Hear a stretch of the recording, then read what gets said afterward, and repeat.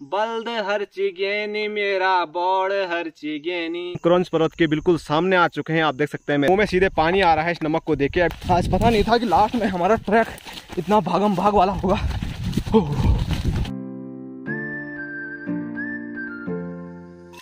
Hello दोस्तों, नमस्कार, मैं हूँ प्रमोद रावत और एक बार फिर आप सभी का स्वागत करता हूँ एक और नई वीडियो में एक नए शानदार व्लॉग के साथ।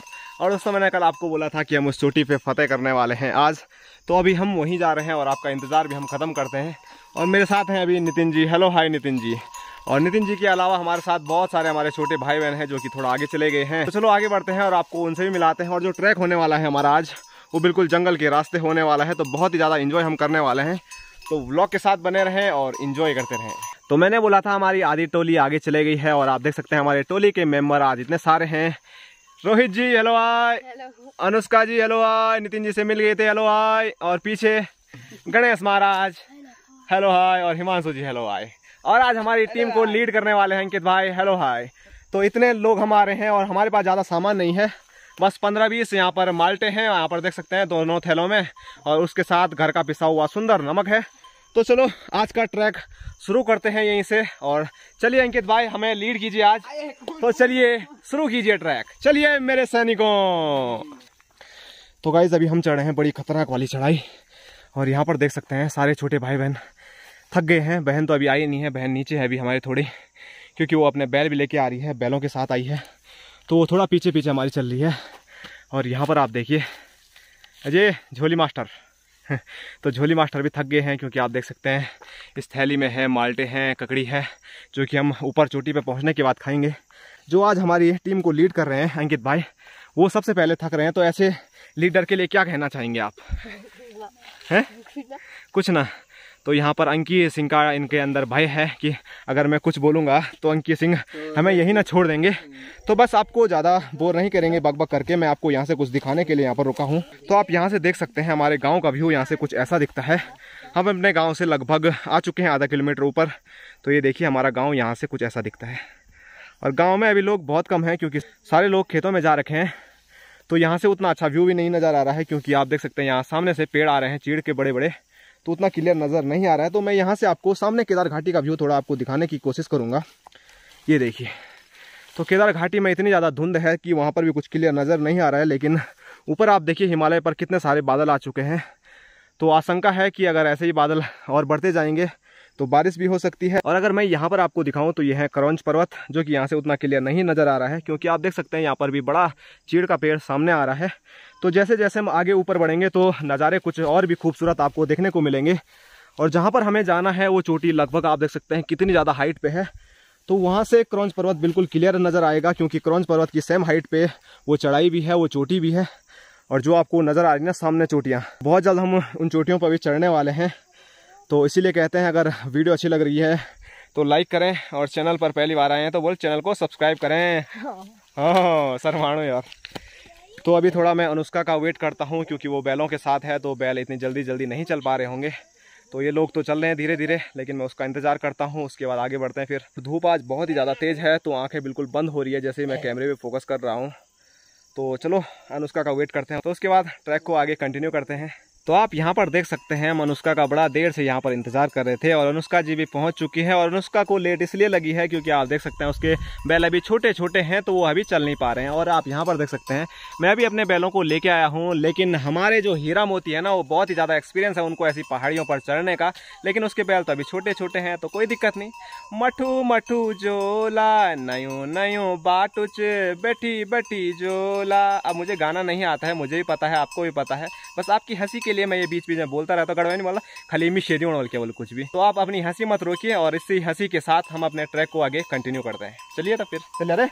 तो अभी हूँ मैं जंगल के बीचों बीच आप देख सकते हैं चारों साइड आपको सिर्फ़ पेड़ ही नज़र आएँगे। और मैं यहाँ पर हूँ सिर्फ़ अनुष्का के साथ अनुष्का थोड़ा पीछे है यहाँ पर। और जो हमारे और भाई बंधु थे छोटे छोटे वो आगे चले गए हैं। और कहाँ वो पहुँचे होंगे वो पता नहीं है, लेकिन आप यहाँ पर देख सकते हैं। जहाँ मैं आगे बढ़ रहा हूँ तो सिर्फ़ झाड़ियों पे मकड़ी के जाले ही हैं। आप देख सकते हैं, मेरे पूरी टोपी पे भी वही चिपक रखे हैं, लेकिन अभी उनको निकालने का टाइम नहीं है। और आप देखिए, जितना मैं आगे बढ़ रहा हूँ तो सिर्फ़ मेरे को यही नज़र आ रहे हैं। तो इनको एक बार साफ़ करते हैं और आगे बढ़ते हैं। और जंगल के बीचों बीच अभी हैं तो थोड़ा डर का अनुभव भी हो रहा है, क्योंकि हमारे जंगल में सभी प्रकार के जानवर होते हैं। भालू होता है, तेंदुआ होता है। तो जितने भी बड़े बड़े जानवर हैं तो सभी हमारे जंगलों में पाए जाते हैं। तो थोड़ा डर भी है। मुझे अपना डर नहीं है उतना जितना अपने छोटे भाई बहनों का है, क्योंकि वो मेरे भरोसे यहाँ तक आए हैं। तो सबसे पहले उनको सही सलामत चोटी पे पहुँचाना है और उसके बाद सही सलामत उनको घर भी पहुँचाना है। ये मेरी ज़िम्मेदारी है आज की। तो अभी आगे बढ़ते हैं, क्योंकि वो ऊपर चले गए हैं। कहाँ पहुँचे मेरे को कुछ पता नहीं है, क्योंकि मैं अनुष्का के साथ अभी पीछे पीछे चल रहा हूँ, क्योंकि उसको भी अकेला नहीं छोड़ सकता बैलों के साथ। तो सबको मुझे साथ लेके चलना है आज। पहला तो यही है मेरे लिए चैलेंज तब जाके चोटी पे पहुँचना चैलेंज दूसरा है। तो चलो अभी इन बैलों को थोड़ा ऊपर भगाते हैं और उसके बाद आपको मिलते हैं सीधे चोटी पे या जहाँ पर हमारे छोटे भाई बंधु रुके होंगे। चल चल।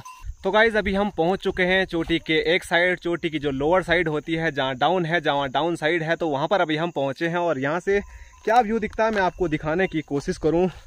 तो आप यहाँ पर देख सकते हैं, चारों साइड आपको सिर्फ़ यहाँ पर पहाड़ियाँ ही नज़र आएगी। और यहाँ आज क्लियर नहीं नज़र आ रहा है, हमारी शायद किस्मत ही ख़राब होगी, क्योंकि आज धुंध फैल रखी है, किस बात से मुझे ये भी पता नहीं है। लेकिन आज इतना क्लियर नहीं नज़र आ रहा है, बस यहाँ से सिर्फ़ पहाड़ियाँ ही पहाड़ियाँ नज़र आ रही है। और जो क्रंच पर्वत मैंने आपको नीचे से बताया था तो आप यहाँ पर देख सकते हैं, हम क्रंच पर्वत के बिल्कुल सामने आ चुके हैं। आप देख सकते हैं मेरे हाथ के जस्ट सामने ही क्रंच पर्वत है तो इतनी हाइट पे अभी हम आ चुके हैं। और अभी हम उस हाइट पे नहीं पहुँचे हैं जो मैंने आपको नीचे से दिखाई थी। अभी हम जो चोटी है उसकी लोअर साइड पे पहुँचे हैं। अभी जो मेन रिच है, वहाँ पर अभी हम नहीं पहुँचे हैं। तो वहाँ पर भी पहुँचते हैं और और देखते हैं वहाँ पर क्या माहौल बनता है और वहाँ से क्या व्यू दिखता है।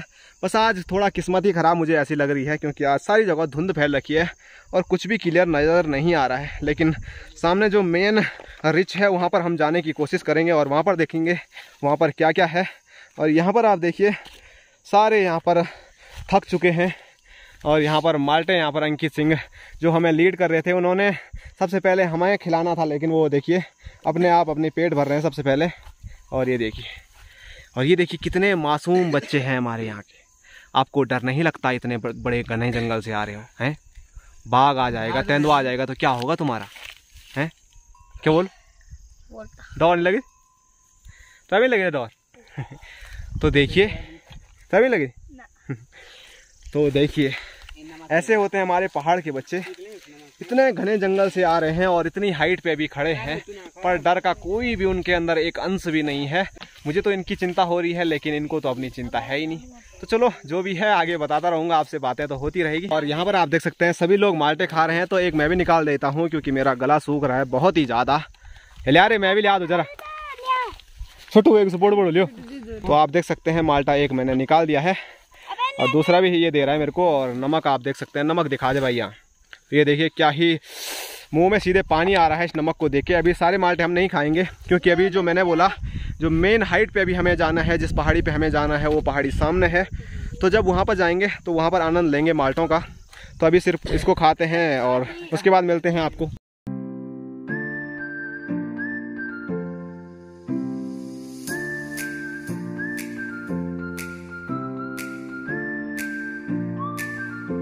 तो हमने अभी सभी लोगों ने माल्टे खा दिए हैं और यहाँ पर आप देख सकते हैं रोहित बुकर जी अभी भी खा ही रहे हैं और रास्ते में भी ये खाते खाते आ रहे थे। पता नहीं कितने माल्टे खाते हैं। दो उनका पेट कभी भरता ही नहीं है। तो मैंने भी दो माल्टे खाई दिए हैं और थोड़ा जो गला सूख रहा था, अब राहत है थोड़ी। और बढ़ते हैं अब आगे। कहाँ पे? जहाँ पर जो मेन चोटी है, जहाँ पर आज हमें जाना है।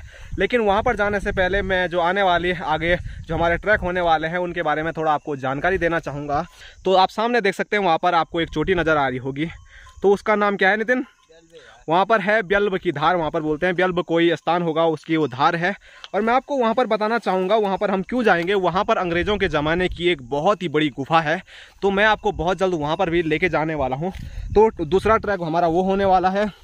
और एक दूसरा ट्रैक हम यहाँ पर करने वाले हैं। तो आपको सामने क्रॉन्स पर्वत के बगल में जो मुंडी टाइप की एक ये नज़र आ रही होगी ना ये वाली चोटी तो ये इस पर्वत पर भी हम जाने वाले हैं। और इस चोटी का नाम है डाकूधार तो शायद वहाँ पर डाकू रहते हैं या क्या रहते हैं, पहले जानकारी इकट्ठा करेंगे तो वहाँ पर भी हम जाने वाले हैं। तो इसीलिए मैं कहता हूँ कि ऐसी शानदार वीडियोज़ के लिए हमारे चैनल के साथ जुड़े रहें।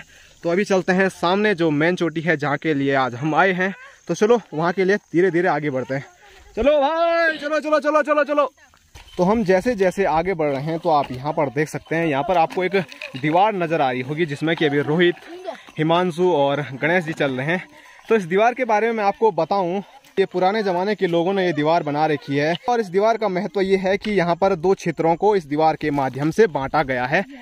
ये क्षेत्र जहाँ पर आपको ये डंडा मेरा नज़र आ रहा होगा तो यहाँ पर ये उरखोली तड़ाक वालों का क्षेत्र है और यहाँ की बात करूँ मैं, जहाँ पर हिमांशु लोग अभी चल रहे हैं। तो ये क्षेत्र है हमारे साइड का, जो हमारा गाँव है, खमोली हो गया, मालखी हो गया तो ये क्षेत्र उस साइड में आता है। तो गाइज़ बहुत ही ज़्यादा थकान लग चुकी है। और अभी हमें उस चोटी पे चढ़ना है। आप सामने मेरे पीछे यहाँ पर देख सकते हैं। लेकिन उस चोटी पे चढ़ने से पहले जो मेरे छोटे भाई बहन आ रखे हैं तो उनको बहुत ही ज़्यादा भूख लग गई है, क्योंकि टाइम बहुत ही ज़्यादा हो चुका है और टाइम की बात करूँ तो अभी डेढ़ बज रहे हैं दिन के, और आप धूप देख सकते हैं कितनी तेज़ हो रही है।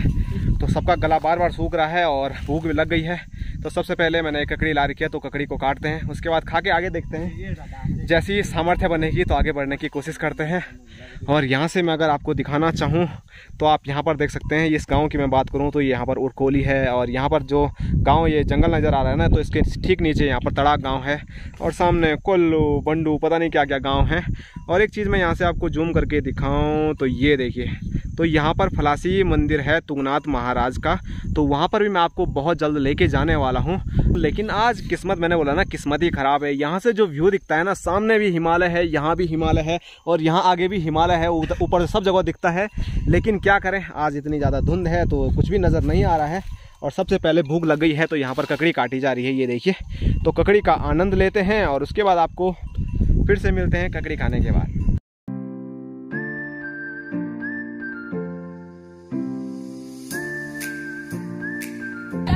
मज़ा आ गया दोस्तों ककड़ी खा के अभी ककड़ी भी हमने खा ली है लेकिन नितिन जी आपसे कुछ कहना चाहते हैं तो नितिन जी क्या कहना चाहते हैं आप? तो आज का ट्रैक हम पूरा नहीं कर पाएँगे क्योंकि घर वालों के बहुत ज़्यादा फ़ोन आ रहे हैं क्योंकि वो परेशान हो रहे घर पे इसलिए अगले दिन हम दूसरी उसका ट्रैक तो नितिन नितिन जी बहुत ही ज़्यादा शर्मीले हैं और बोलने में भी उनको दिक्कत हो रही है तो मैं आपको बता दूँ क्या हो रहा है। सीन तो सीन कुछ ऐसा है कि मेरे फ़ोन पे आ रहे हैं, इनके घर वालों के बहुत ही ज़्यादा फ़ोन की कहाँ गए, दो बजने वाली है, तुम अभी कर नहीं आए, क्या कर रहे हो, क्या कर रहे हो? तो बहुत ही ज़्यादा घर वाले परेशान हो रहे हैं। तो जो आगे का ट्रैक है, यहाँ से आगे का, जिस दिन भी अगले दिन इनकी छुट्टी रहेगी, जब भी इनकी छुट्टी रहेगी, सबसे पहले मैं ये वाला ट्रैक कंप्लीट करूँगा और जो बाद के ट्रैक मैंने आपको बताया, बेलवा धार वाले और जो डाकू धार वाले तो वो ट्रैक मैं बाद में करूँगा, पहले मैं इस ट्रैक को ज़रूर कंप्लीट करूँगा।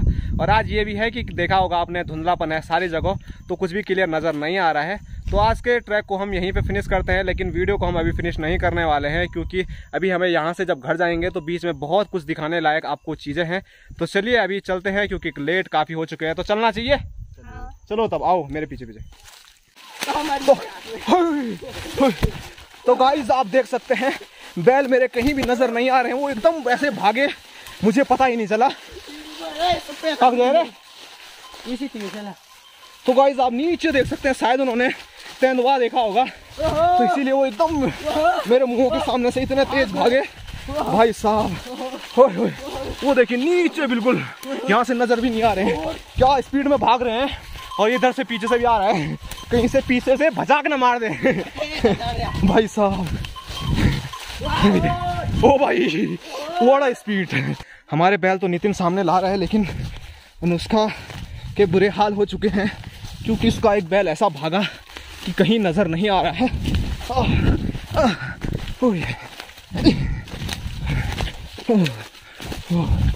आज पता नहीं था कि लास्ट में हमारा ट्रैक इतना भागम भाग वाला होगा। पता नहीं कहाँ ये बैल चले गया है।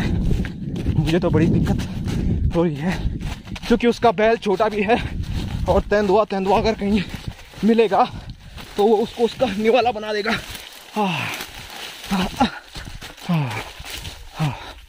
तो कहाँ गया भाई? कहीं दूर दूर तक मुझे नज़र नहीं आ रहा है। उल्टा मैं भी अकेला हूँ।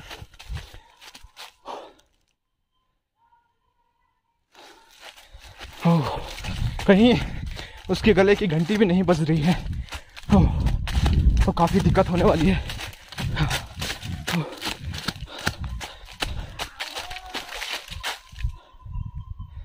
तो अभी घंटियाँ सीधे नीचे सुनाई दे रही है, वो शायद हमारे बैलों की हो सकती है।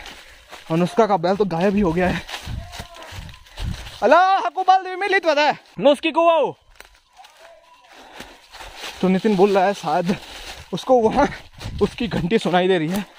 तो चलो मैं भी चलता हूँ और देखता हूँ वहाँ पर बैल है भी या नहीं है।